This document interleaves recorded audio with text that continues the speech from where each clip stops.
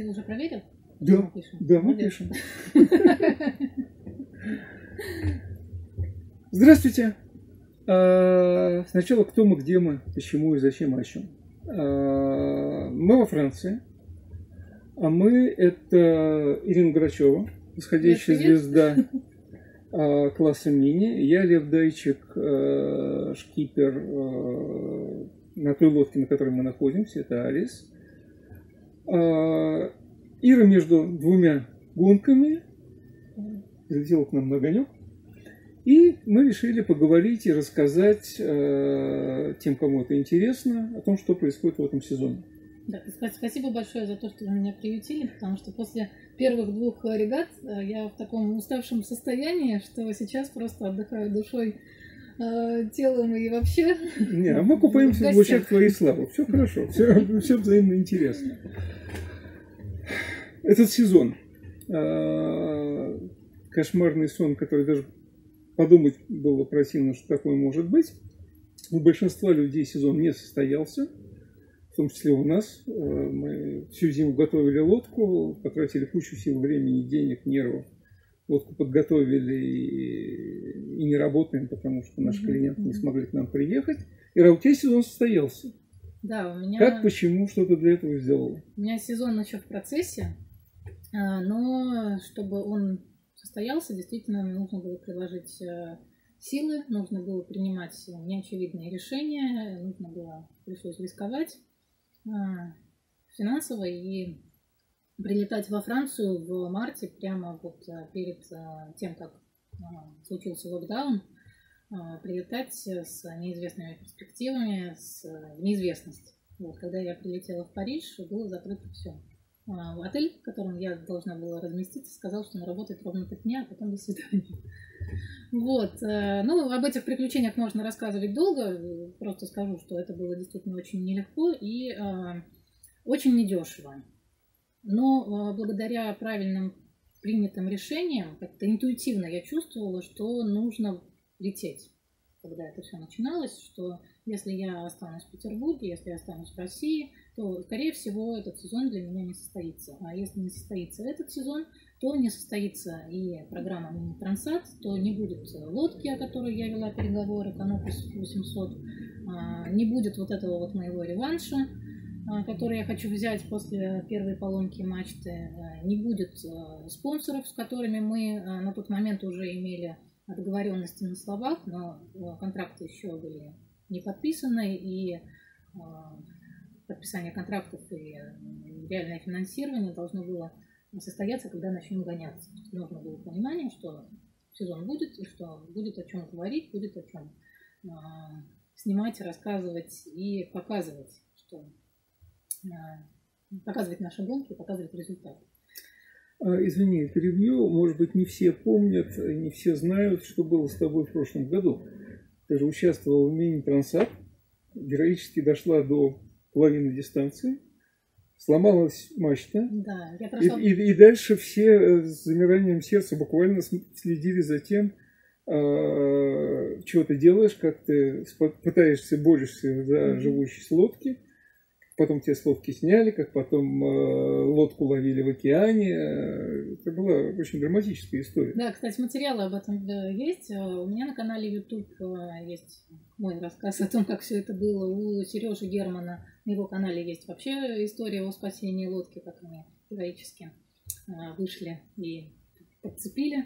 А ситуация была, да, в том, что я готовилась два года к мини-трансат предыдущий проект, э, чтобы стартовать и финишировать в 2019 году. А, Два года реально тяжелой подготовки на серийной лодке. Я прошла больше половины дистанции, потому что я прошла первый этап целиком и половину дистанции второго Да, этапа. там тебе около тысячи миль оставалось. всего, да. 1200, да, мне оставалось, когда я сломала мачту. Вот, и во время... Ну, Это не то, что ты сломала мачту, да, не то, что ты рассердилась и... Об коленку. все-таки не так было. Да, в общем, э, так или иначе мачта сломалась, э, и э, три дня я, я построила джурик, это аварийное вооружение, навесила парусов, продолжала под ними идти с переменным успехом, со скоростью там, когда поддувало, у меня даже 4 узла получалось, но я понимала, что я очень далеко от берега нахожусь, 1000-1200 миль, что впереди прогноз непонятный, и где-то я получала по коротковолновому радио, могла продолжать получать прогнозы, где-то уже проскакивала лавировка, и ну, куда меня понесет ну, после этого было непонятно. Да, решение нужно было принимать, и а, на самом деле я руководствовалась тем еще, что а, если бы я в какой-то момент, если бы я задержалась в этой гонке, если бы я продолжила, и в какой-то момент мне пришлось бы активировать ЭПИР, а, очень сильно эта история ударила бы по классу мини, очень сильно это, ну, это нехорошо. Если я имею возможность каким-то образом а, решить эту проблему раньше, я должна ей воспользоваться для общего блага, и я решила взять, а, попросить помощи в лодке сопровождения. Я не знала, сколько их там осталось за мной, потому что с регатой что 7 лодок, явно большинство уже прошло, сколько за мной я понятия не имела, и я могла только как бы, ну, написать смс через трекер организаторам, что я прошу помощи. Никаких вопросов, где кто. Вот этого я ничего узнать не могла, мне никто не ответил. Uh-huh. Вот. И я решила, что так лучше для класса, так лучше для моего проекта, потому что у меня, наверное, я бы выжила в этом океане. Как бы проблемы большой не было, страха не было, но как бы смысла не было. Я не затем пошла в гонку мини-трансат, чтобы как бомбар выживать. У меня не было такой задачи, да? Вот, поэтому, ну, спорный был момент, должна ли я была до последнего или нет.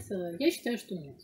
По многим факторам. У меня, у меня как у стороннего наблюдателя, нет сомнений, ты все правильно сделала. Вот. Ты да. боролась, да. увидела бесперспективность этой борьбы и приняла правильное решение. В прошлом году приняла правильное решение, и в этом году приняла опять правильное решение. Да? Как, Нет, как очень все хорошо выглядит. Не говорю, что это было легко и просто. Ни тогда, ни сейчас. Ну, в общем, да, и после этого я, я реально очень долго готовилась к этому проекту. Я реально вложила всю себя в, в ту подготовку. И мне было жутко обидно, я была ну, расстроена, наверное, не то слово. И когда сломалась мачта, вот так вот я, как бы мачта падает, ну, э, падает она быстро, но для тебя это как будто бы замедленная съемка, вот реально. Ну, я не знаю, как сколько мыслей там успею пронестись. Падает мачта, я такая понимаю, опа, еще два года надо будет в классе мини. И после этого я поняла, что действительно другого выхода у меня перед собой, что ли, чтобы оставаться честным с собой и уважать себя, другого выхода у меня нет, кроме как а, начать Э, второй проект. И когда я уже поняла, что страховая компания меня очень сильно поддерживает, ну, я была застрахована лодкой, когда э, я поняла, что как бы, ну, люди вокруг меня поддерживают, и я поняла, что это возможно, и тогда мы начали переговоры о новой лодке, ну, как это, она не новая, не вновь построенная, новая для меня. А, мы начали переговоры с э, новыми спонсорами, и стало понятно, что а, реально стартовать новый а, проект, более выигрышный, более спортивный, на, с хорошей заявкой на лидерство. На успех. На успех, да, mm-hmm. на лидерство. Вот. И э, я выбрала лодку Прото, чтобы мало того, чтобы лодка была быстрее, чтобы сделать еще шаг вперед в своем образовании, что ли, в своем опыте. А, испытать новое. А, и вот, и вот. Именно поэтому я сейчас э, делаю, готовлюсь к новому проекту Минтрансат 2021, заявка на который а, должна быть сделана в декабре этого года. Да. Но, за, за может быть, не все все знают, как устроен, устроен Минтрансат. Значит, один год – это год квалификации и подготовки, другой год – это гонки-гонки и главная гонка через Атлантику. Да, ну некоторые люди умудряются сделать мини-трансат всю подготовку за один год, но это очень-очень жестко. И что самое главное в серийном флоте, например, а, сейчас конкуренция а, настолько большая, желающих участвовать, лодок, шкиперов, а, так много, что не все получат место в гонке. Ну, это, это экстерном можно и школу быстро да, закончить, да? да? Но нормально это один год подготовительный, угу. по результатам которого ты получаешь или не получаешь квалификацию допуск к к гонке, которая пойдет через океан. Да, заявка на мини-трансат происходит за, почти за год до самой гонки, поэтому а, на момент заявки хорошо бы, чтобы ты был уже полностью отквалифицированный, потому что а, желающих участвовать в гонке больше, чем мест на этой гонке. Вот, поэтому будет э, для серийного флота, по крайней мере, будет живая очередь и решаться будет, э, у кого больше набрано квалификационных мест. Э, организаторы гонки молодцы. В этом ковидном году, в короткий сезон, проводя гонку, которая называется «Мини в мае» в сентябре, тем не менее организаторы сумели устроить так, что квалификация проходит в полном объеме, как требует регламент. Правильно? Тут э, как бы организаторов нужно немножко разделить. У нас есть администрация класса мини, которая, собственно, договаривается с организаторами разных гонок. Вот. У каждой гонки свой, свои организаторы. А, но э, давайте скажем так, все молодцы. Все, все молодцы. Год состоялся. Да, класс мини молодец, а организаторы гонок молодцы. Все смогли, э, власти тоже молодцы, потому что смогли найти способ нам это разрешить. Э, организаторы молодцы, смогли найти способ это провести. Э, Вы молодцы, молодцы, сумели Потому что, да, да, сломя голову, ломанулись все это гонять. И уже сейчас понятно, что все сделали все, чтобы мини-трансат и самое главное, ты состоялся. успешно квалифицирована, ты готова да. подавать заявку, и нет никаких оснований предполагать, что тебя, может быть, кто-нибудь не допустит. Правда? Да, я на самом деле обгоняла сейчас две регаты, э, САС и мини в мае в сентябре, э, и закрыла для себя полностью вопрос квалификации. САС набрала полторы тысячи миль, которые мне были нужны, потому что я не должна была гоняться не должна была проходить дополнительно тысячу миль в одиночку, потому что гонялась э, САС, это океанская гонка в прошлом году, и это мне зачлось. Вот мне немножечко проще, еще мне немножечко проще, потому что я на прото, а для прото есть э, определенное количество зарезервированных мест. Э, по чесноку мне было бы еще проще, потому что есть количество зарезервированных мест для иностранцев, я могла бы воспользоваться этим, но как я в прошлом году не пользовалась, э, не брала квоты, квоты и в этом году не собираюсь, собираюсь.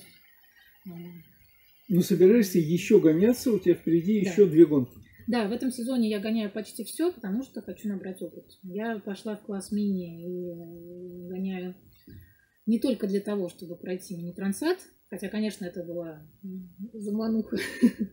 Вот, я поняла, что здесь гораздо больше происходит, а, чем вот это, просто этот мини-трансат, что вот эти годы подготовки, они дают тебе, меняют тебя, дают гораздо больше. И я хочу их полностью получить, получить весь этот опыт, подняться на какую-то новую ступень для себя.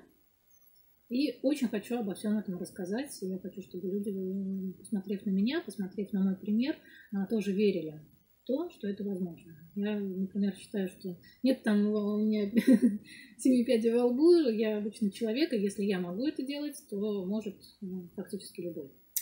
А, ты не очень обычный человек, а, про Кади во лбу говорить не буду, но а, я же вижу, как ты идешь по понтону, все люди аплодируют. Ты в этом году ворвалась в элиту а, ты успешно гоняешь и стабильно гоняешь все гонки, ты все время в группе лидеров, и это фантастический результат. Спасибо. Ну, что, спасибо, это правда.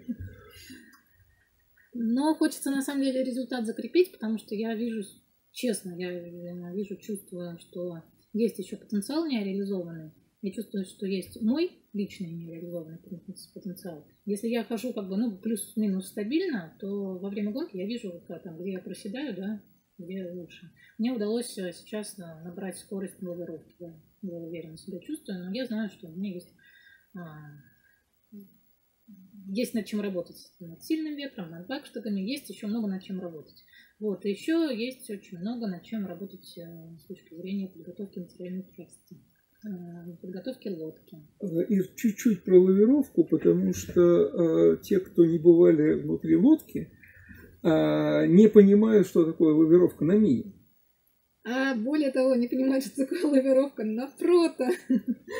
Конечно, потому что э, такой, такие понятия, как перемещаемый вес, неперемещаемый вес. Расскажи, что такое смена галса в лавировку на прото? Ну, на самом деле, смена любого галса на прото, ну, понятно, что на любой яхте нужно, э, чтобы повернуть, нужно э, переложить паруса, да?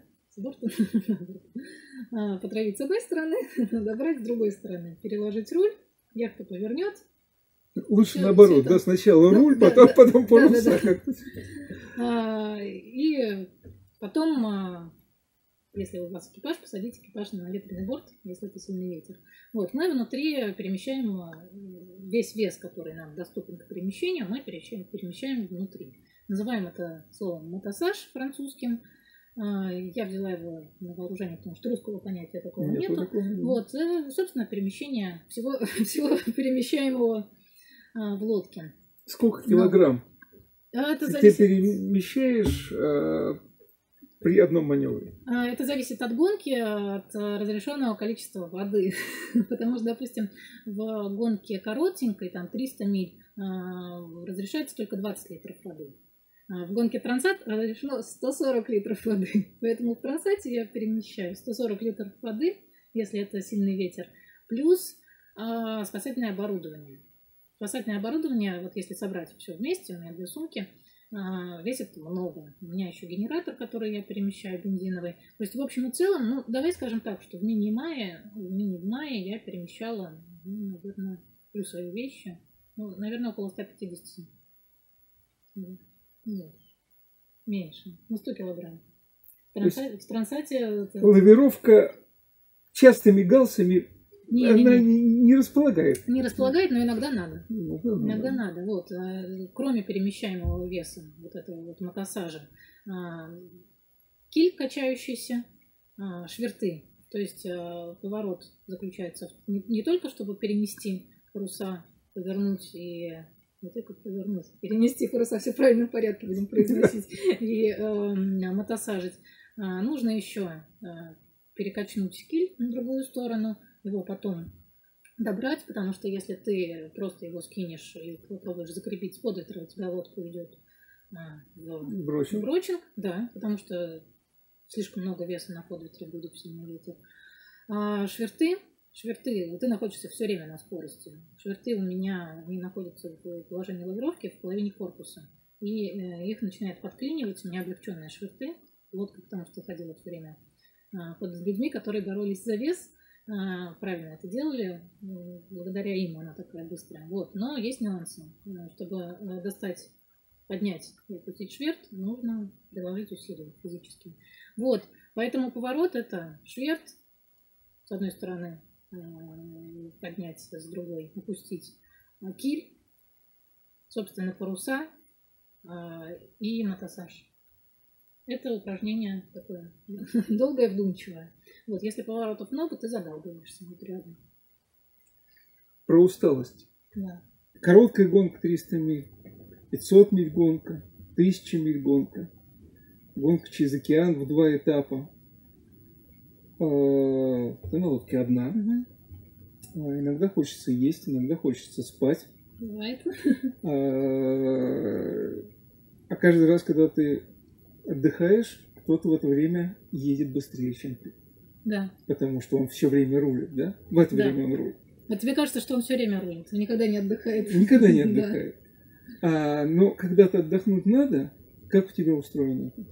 А, ну, а, короткие гонки без отдыха гоняюсь, а, и это нормально. Сейчас я на самом деле столкнулась с большой усталостью. Так, секундочку, что... секундочку. Да. Короткая гонка, 300 миль, да. это двое суток. Ну да, не, ну я понятно, что я там где-то отдыхаю, но меньше, чем отдыхаешь в Трансате.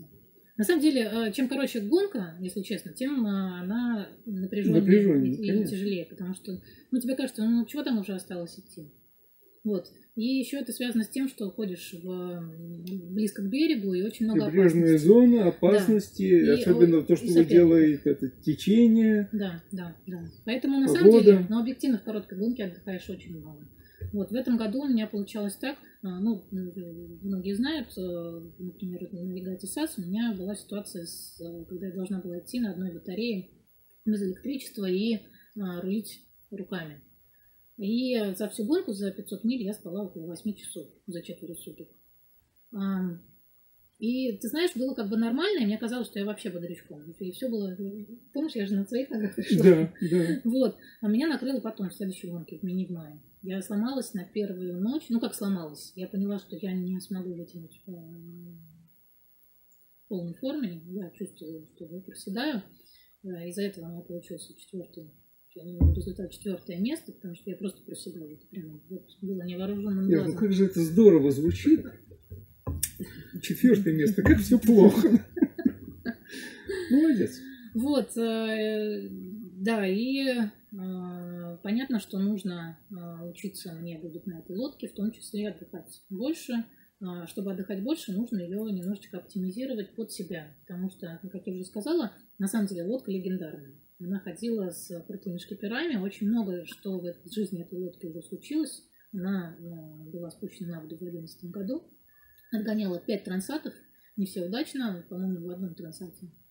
А, из-за проблем с килем.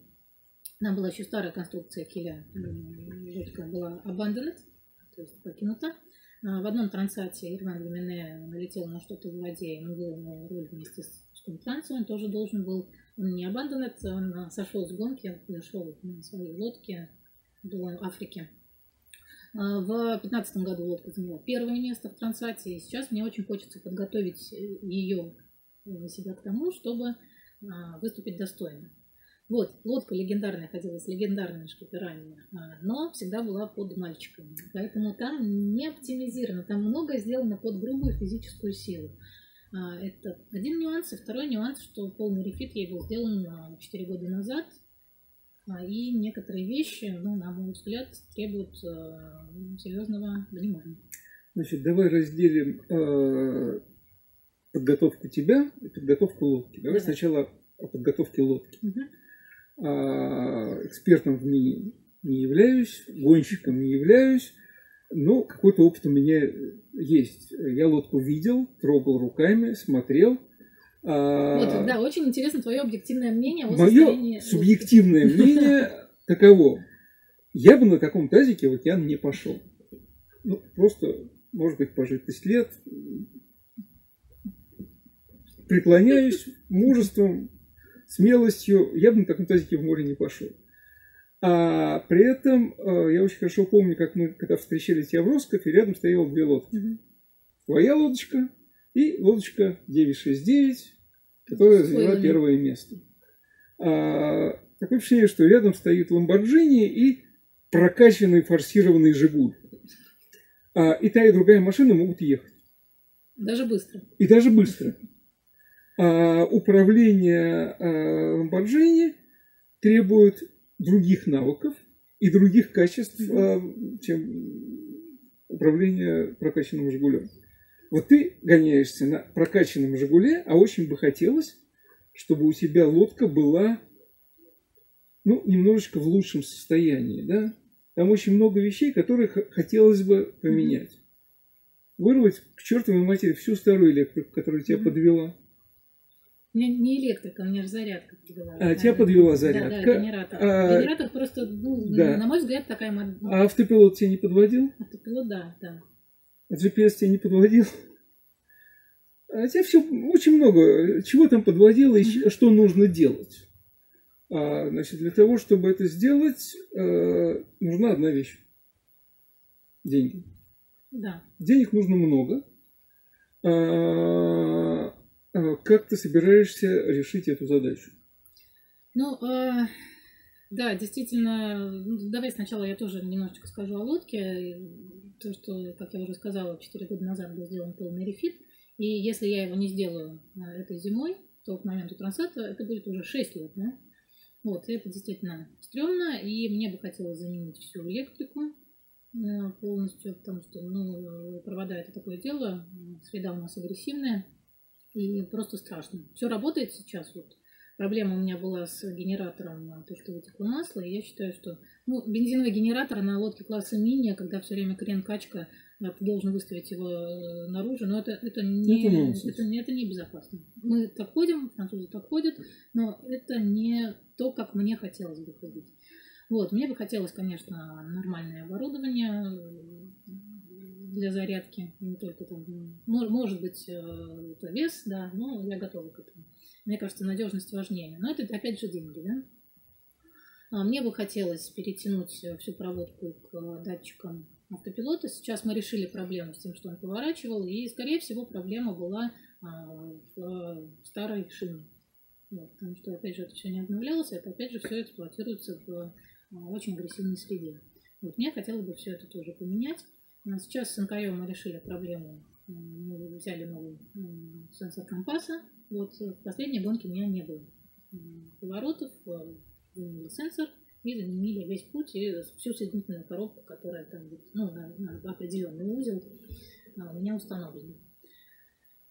Вот, так, это я начала. Начала. А ты ну, это там как я буду искать деньги, да? Да, как ты будешь искать деньги, но э, еще нужны паруса. Да. Веревочки. Да, паруса требуют обновления этот сезон мы ходим, но нужно вышивать новый комплект полностью. Это, а, ну, скажем так, хотелось бы пошить 4-5 э, парусов. Вот, э, веревочки заменить некоторые, да. А, хотелось бы что-то модернизировать в лодке, но, к сожалению, пока что я не могу этого сделать э, из-за того, что у меня контракт аренды.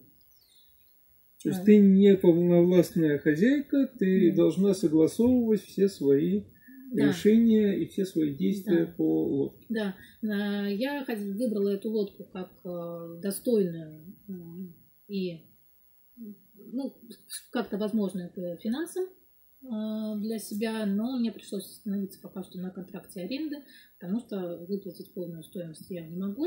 И э, очень хотелось бы, потому что сейчас вот в, с владельцем, с Ирваном достаточно трудно договориться, когда я хочу что-то поменять. Я хочу немножечко ее под себя, да, чтобы мне было немножечко полегче. Может быть, заменить какое-то оборудование, а, поставить другие стопора другой модели. Это требует э, внесение изменений небольших не в конструкцию, а, короче, нужно тупо наформовать усиление. Вот. А это уже ну, серьезные изменения, да. Вот. И чтобы все это сделать, мне, конечно, чтобы сделать так, как мне нужно, так, как мне безопасно, так, как мне комфортно, мне нужно лодку выкупать. А, и выкупать достаточно срочно, чтобы зимой сделать Поэтому на трекере у тебя было написано про твою лодку спонсор Wanted. Very wanted. Very wanted, да. Да, здесь нужно сказать, что, конечно, у моего проекта уже есть спонсоры, и те люди, которые меня поддерживают, которым я очень-очень-очень сильно благодарна. А, все их знают. А, и благодаря им мне удалось э, ввязаться в драку, мне удалось начать вот, э, даже в этот вот непростой а, ковидовский сезон. А, без них это бы не получилось, но чтобы продолжать и чтобы выйти к трансату, скажем так, в полной силе, а, модернизировать лодку под себя и а, получить еще больше знаний и тренировок, нужно больше денег. Как это не банально, мы сейчас находимся где-то в серединке бюджета. И тут мы плавно переходим ко второй части. Это подготовка тебя, что тоже требует денег. Да, подготовка меня, да, я бы... Э, как, как все когда-то произошло? А, я в классе мини, как я сказала, для того, чтобы набраться опыта. Чтобы набраться опыта, э, нужно тренироваться с талантливыми, хорошими тренерами. В моем первом сезоне мне не удалось э, получить ни одной тренировки вообще. Там, в той группе, в которой я занималась, тренер все время отсутствовал. А, и как-то так повелось, что я вот все сама все сама, подготовка сама, с помощью команды. Мне Микаэль Рикин помогал, мне и ребята из Питера, Миша Моторуев. А, но все равно это самостоятельная работа, да, а, и самостоятельные тренировки, как могла. Мне бы очень хотелось, и тогда очень хотелось, и сейчас хочется попасть в самую лучшую школу, попасть к самому лучшему тренеру. Тренер Валерьян. А, и был такой момент перед гонкой в мини в мае, я шла по понтону, и тут меня останавливает женщина, говорит, Ирина, Я говорю, да. Она говорит, «Э, э, я представитель э, школы Лариан Грандляш, и что-то почему-то мы не видим вас среди наших учеников. Мы бы очень хотели, чтобы вы к нам перебрались. И, а поспонсировать они не хотят? Нет? Думаю, что нет, скорее всего нет, но на самом деле все, кто там занимаются, они становятся на слуху, то есть за ними наблюдают большое количество глаз, и быть там почетно, это не знаю, как Гарвард. Гарвард вряд ли спонсирует своих учеников. Я не знаю, может, есть какие-то... Ну, ладно. В общем, суть в том, что она говорит, что мы смотрим на твои результаты, мы смотрим, что а, как ты гоняешься. А, у нас в школе есть э, Кристиан Дюмар, а, метеоролог. У нас есть такие-то занятия, такие-то занятия, такие занятия. У нас есть э, тренер Тангилия Глатан. И э, если ты делаешь все, что ты делаешь без нас, то мы э, представляем, что бы ты могла сделать с нами. Так что давай говорить, может быть, соберешь вещички, поедешь к нам в Ларьян. А, мне было очень приятно все это слышать, и в Ларьян я пыталась перебраться еще в следующем, в предыдущем проекте, но а, мне никогда там не было места, потому что а, там спортсменов, шкиперов больше, чем мест в паркинге. Это же все комплекс, это не только школа. Тут ты переезжаешь вместе совсем с карбом переезжаешь, как бы ну, жизнь твоя переезжает. вот. И не было места, мне все время говорят, мест нет, мест нет. И, кроме того, это еще и дороже, потому что букинг там стоит дороже, чтобы вот это вот все оплачивать э, нужно иметь деньги. А, тренер, если ты занимаешься, стоит дороже. Школа стоит, по-моему, не очень дорого, но, но все же. И опять же, это э, мои вложения по времени. То есть, э, если я пойду по этому пути, по пути прокачки себя с переездом в э, я должна быть готова в феврале начать тренировочный сет. Они начинают гонять в феврале. Это значит, что до февраля я должна уже решить все свои вопросы. С... Сейчас у нас середина октября. Да. У тебя впереди еще две гонки. Да. А рефит лод, лодки. И к февралю ты хочешь ну, Первый реф... раз в первый класс. Да. Но рефит можно немножечко растянуть, его можно сделать два этапа. Часть сделать зимой, часть сделать летом. Там тоже будет, э, если сезон состоится как бы нормально, будет промежуток, когда можно еще кое-что сделать. Mm-hmm. Вот, но э, нужно быть готовым в феврале начать э, тренировочные сеты, то есть опять приехать во Францию. То есть это потребует, если мы пойдем по такому пути, если у нас будет спонсор, который э, готов поддерживать э, достаточно крупную сумму, а, то э, я готова вложиться своим временем, опять же, сделать над собой еще одно усилие а, и пройти вот эту программу подготовки, пройти вот эту программу э, школы и э, начать сезон достаточно рано. Вот. Вот мы говорили, говорили, говорили, а теперь давай, может быть, начнем с того, нет, продолжим тем, с чего мы должны были бы начать. А, как-то само собой разумеется для тебя и уже частично для меня, что мы понимаем о том, что такое мини-трансат, и кажется, что и все наши зрители и слушатели тоже знают, что такое мини-трансат. На самом деле совсем не так. А, я думаю, что в России не очень много спортсменов знает о трансате. Прошлый мини-трансат, в котором участвовала ты, участвовал Федор. Вы большие молодцы, вы сделали огромную просветительскую работу и рассказали людям, рассказали российским спортсменам, гонщикам о том, что это такое. Но, тем не менее, и, пожалуйста, кратко mm-hmm. сформулируй, в чем специфика мини-трансат. Это совершенно же уникальная гонка. Вот в чем ее уникальность? А, уникальность ее в том, что мы а, идем через океан в одиночку а, в гонке в два этапа. А, сначала этап из Франции на Канары, потом с Канар на Карибы. А, они безостановочны. Первый безостановочный, второй ну, Казалось бы, люди в Абдеглоб ходят в одиночку да. но, без остановки. Но, но, но. но мы идем на супер маленьких лодках 6,5 метров, которые э, технически сейчас на пике. А, то есть э, супер современных, супер скоростных с огромными парусами, с огромными нагрузками, а, но при этом мы идем в режиме old school, с бумажными картами, с запретом на любую связь с Землей, с запретом на использование спутникового телефона, с запретом на получение каких-то автоматических прогнозов, с запретом на карт-плоттеры, с запретом на любой электронный роутинг. То есть идем по старинке. На... Последние романтики. Ну, поскольку нас очень много, каково из нас назвать последним? Вот, класс на самом деле супер популярный, потому что ну, это реальный вызов. Реальный вызов э, себе. А, я не буду говорить вызов стихии, но это, ну, это реально круто. А, и многие шкипера а, пытаются участвовать в гонке, не у всех получается э, потянуть проект э, финансово, не у всех получается совладать с собой. Именно для этого нам нужны квалификации, чтобы человек выходил подготовленным чтобы не было случайных людей, которые ну, в середине океана поняли, что что-то им тут не очень хорошо, и жали бы на красную кнопку, чтобы эвакуироваться. А, вот, э, этим гонка уникальная, то, что суперсовременные яхты идут по в условиях вот этой вот э,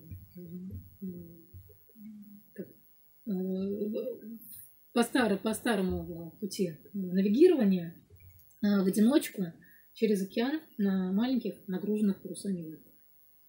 Вот, и еще надо сказать, что мини-трансат здесь, во Франции, для любого э, яхтсмена, который претендует на то, чтобы быть, э, иметь статус э, офшорщика, одиночника, претендует на то, чтобы быть профессионалом, претендует на то, чтобы какие-то еще проекты вести. Наверное, мини-трансат это must do. Здесь, как бы, если ты не отгонялся мини-трансат, ну, в общем, ты никто. Для меня а, не то, что никто, но если ты отгонялся мини-трансат, то все понимают твой уровень примерно, да, когда скажем так. Вот, для меня мини-трансат стал еще и школой. А, школой не только парусного спорта. Я пошла сюда за тем, чтобы научиться, я это получила, но а, два года Первые два года подготовки меня полностью изменили. То, что сейчас со мной происходит, я понимаю, что это совершенно другой уровень, я меняюсь. А еще больше э, это вся вот эта вот история, она стала тем, что полностью меня изменит. Мне уже даже интересно заглянуть вперед и посмотреть, а, когда все успокоится, как я себя буду чувствовать и кто же я после всего этого. Вот, наверное, это самое важное, что я хотела сказать имени Трансат. И э, еще хочется сказать, что э, на самом деле э, не сама гонка мини-трансат оказалась самым сложным. И изначально это была замануха, изначально это была цель. Но когда я пошла по этому пути, я поняла, что все, что происходит с нами за два года подготовки, именно это ценность. Не сам трансат, именно прибыть на а, Канары, а пройти вот этот путь. Я очень рада, что я прошла его уже в процессе первых двух лет. Очень рада тому, что у меня сейчас есть возможность идти еще два года.